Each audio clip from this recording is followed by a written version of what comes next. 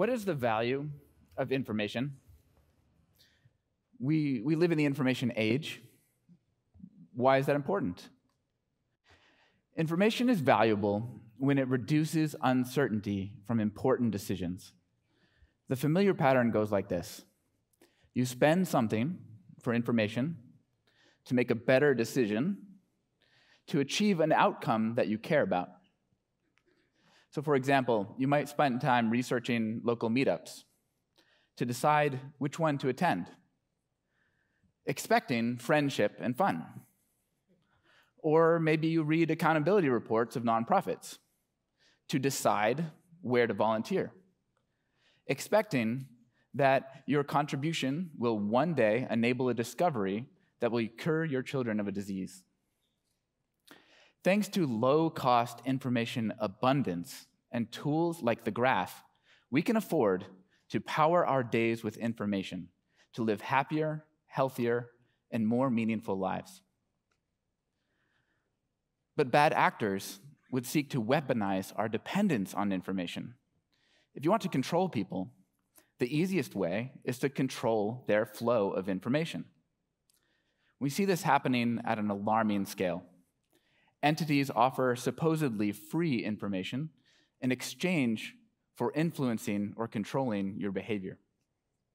When you perform a search and you get an ad, that's an attempt to control your behavior through selective information. And this problem goes far beyond ads and even into disinformation. Corporations fund research to support preset conclusions. Bots post on social media to sway public opinion on crucial issues.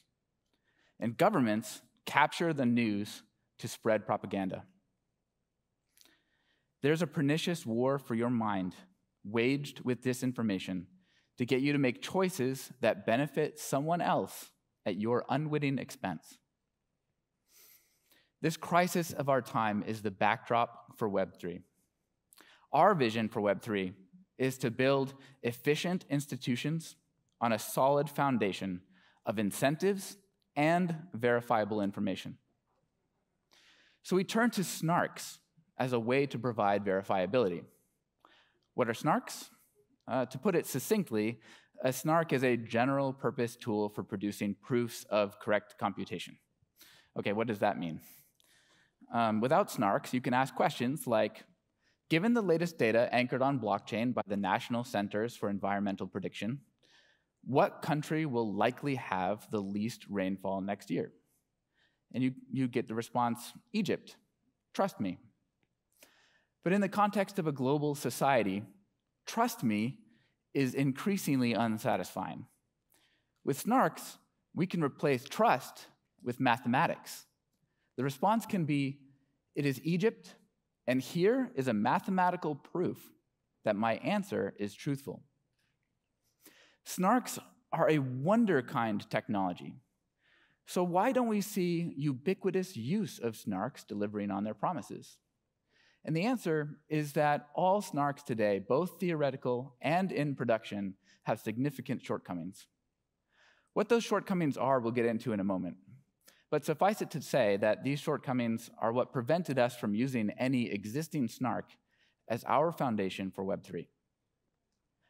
Taking the long view, we decided to do something about it. And today, I am thrilled to unveil an experimental snark that could forever change how snarks are built.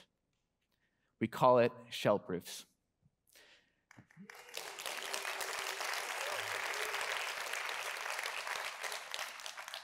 This work is the culmination of three years of research and development that started with Jackson Blazensky and has grown to become a collaboration between EdgeNode, Semiotic, and the Graph Foundation. I want to share what makes Shellproofs unique and why it's a giant leap forward for this space. But before I do, we need to take a step back and take a look at some of the options that exist today and really to understand the, the context of shell proof's promise. Proof systems today fall into one of two camps. In the first camp are systems that rely on something called a trusted setup. Groth 16 and Plonks are snarks that are in this camp. This trusted setup infers um, that you can't easily check the math. Instead, you have to rely on the integrity of a ceremony performed by a committee. And if you happen to be a committee member who aided in the trusted setup, well, congratulations, because you can trust the snark. But for the rest of us, there's no way to audit the process after the fact. Maybe we can get, on the, get in on the next round, um, and we just aren't comfortable with these trust requirements. So we rejected this entire category and focused exclusively on transparent proofs. Transparent proofs, like bulletproofs and Starks, carry no trust baggage. Transparent proof, proofs are built upon open and auditable mathematics. But unfortunately, by taking this route, we are left with some less than ideal options. If you choose something like bulletproofs, you get long verifier times, and if you choose something like Starks, then you get very large proof sizes. And the problem is that blockchain is a resource constrained environment. Slow verifiers and large proof sizes have a measurable impact on the cost of using these systems. So it seemed that we're left with the difficult choice of either compromising our values by going back to an option in the trusted setup camp, or by choosing one of these and taking an enormous hit to efficiency for our on chain verifier. What would be great is if we had a snark that was transparent and efficient to verify on chain. And that's what Shellproofs is. If our security proof wraps up as expected, then we will have a best in class prover and verifier and a world record proof size among transparent snarks. The proof size is notable because we believe that proof size is the most important factor contributing to the overall efficiency of blockchain applications. To demonstrate the versatility of Shellproofs, I want to share two potential applications within the Graph protocol. These applications are very different, but each is a perfect, perfect fit for Shellproofs in its own way. The first application that will speak to the scaling of institutions, um, and the second is going to be on combating disinformation. The first application is dispute resolution in Scalar. So we designed the graph to support a fee for every query.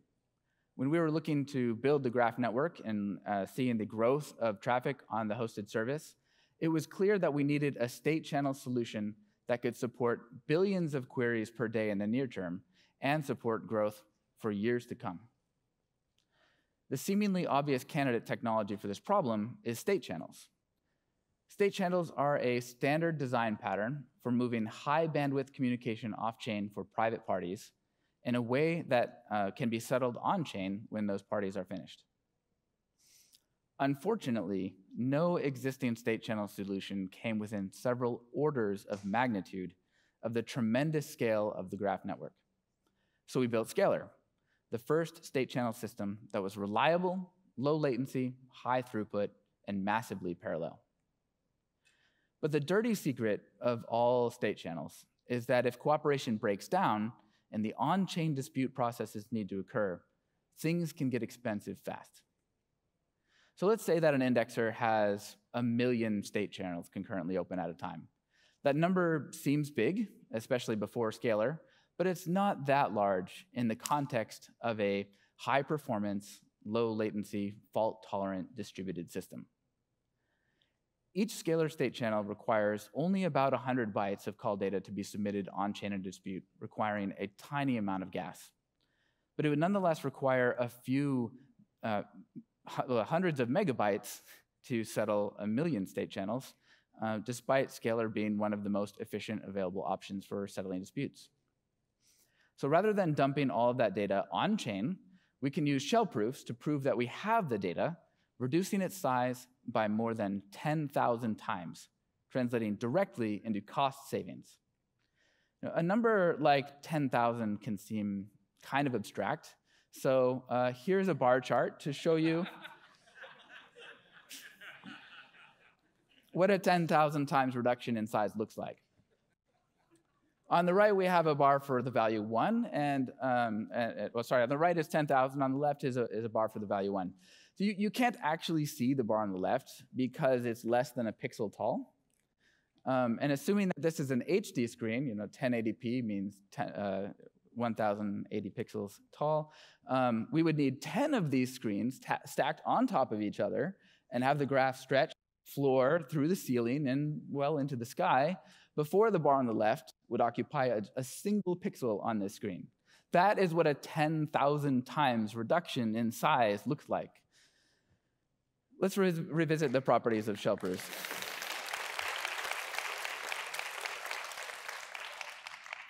Yeah, let's revisit the properties of Shellproofs and see why we need Shellproofs to be both efficient and trust minimized for Scalar. So let's talk about prover efficiency. When we dispute millions of state channels, we need to prove that each is cryptographically signed, each channel is only collected once, and the total value that's locked in these channels adds up to the correct amount. That's a significant workload uh, that needs to be proven cost effectively under time pressure. You know, if an indexer can't collect fees until generating a proof, they're not going to be happy using a prover that, say, crashes because it runs out of RAM because you had too many state channels open. Um, and the trust minimization of Shellproofs is also essential for Scalar. Only by having a snark without a trusted ceremony can we credibly state that Shellproofs inherits the security properties of the base chain. An efficient verifier is also necessary for Scalar. The technical term for this is verifier succinctness. Uh, in the context of Scalar, verifier succinctness means that the on-chain smart contract requires very little gas. We set world record lows in this area to lower costs for our indexers, which ultimately have to be passed on to consumers. Um, and also with verifier succinctness, we're showing how to be a good citizen of Ethereum and Web3 by not crowding out other use cases that are competing for transaction space, lowering costs for everyone. So the, the second of many potential applications for Shellproofs within the graph that I want to share today is verifiable queries, getting back to the, uh, the thing that we talked about when I, when I came up here.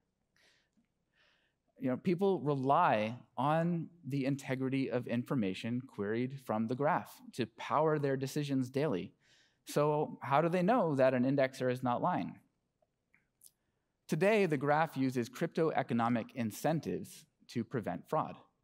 And the way this works is that when you, when you query using the graph, you can cross-check the results against other indexers, and if two of them disagree, then you know one is lying, and you can file a dispute on chain. This process is effective, um, but imperfect. Um, and, and, and after actually, after you file it on chain, then the, that goes to, in front of arbitration, and, and we have to settle that using a, a human process. Um, using governance, basically. So here's some, some downsides to this approach. First, you know, arbitration being a human process makes it costly to scale. Um, second, cross-checking relies on redundancy, and that reduces the overall network capacity. And finally, incentives do not provide a 100% guarantee that liars are deterred or caught. And that means that we can, we can minimize fraud uh, but never entirely eliminate it. And what we would like to do is replace those incentives with mathematics. If we can prove that a response is correct, we can remove the human element, the redundancy, and the incentives. And that is precisely what verifiable queries using Shellproofs aims to do. A shell proof verifiable query would start with a commitment to data and construct an argument showing that the response is a faithful execution of your query. The method is analogous to block hashes and Merkle proofs in Ethereum, if you happen to be familiar with that. Uh, we didn't use Merkle proofs or other standard methods for proofs because the Graph's API is expressive and powerful. Using GraphQL, you can sort and filter data, follow relations, retrieve collections of entities and their properties, and so without Shellproofs, uh, the proof system would, would buckle under the weight of all of this expressivity. Let's revisit again uh, why Shellproofs must be both efficient and trust minimized. Although it's still efficiency and trust minimization that we care about, the reasons are different in this context than when we considered Scalar. For verifiable queries, both prover efficiency and verifier succinctness are working toward providing an excellent user experience. A web user typically has very little patience for a page that takes a while to load. So the ultimate goal is to have an efficient prover that would serve each query with low latency, a small proof that can be sent over the wire quickly, and a fast verifier that can run in the browser. Verifiable queries also requires trust minimization, uh, so that no privileged group of actors can even have the opportunity to lie about a query result and influence people's behavior. That was a lot to unpack. Um, we just went over two immediate potential use cases for Shellproofs within the graph protocol. Both use cases benefit from the completeness of a snark that is efficient enough to scale to large blockchain applications while also being trust minimized. We think that many more use cases would benefit from Shellproofs, and we'll be investigating those soon. And once we finish peer review of our pre-release, we'll publish multiple research papers on Shellproofs and the fundamental breakthroughs that made Shellproofs possible.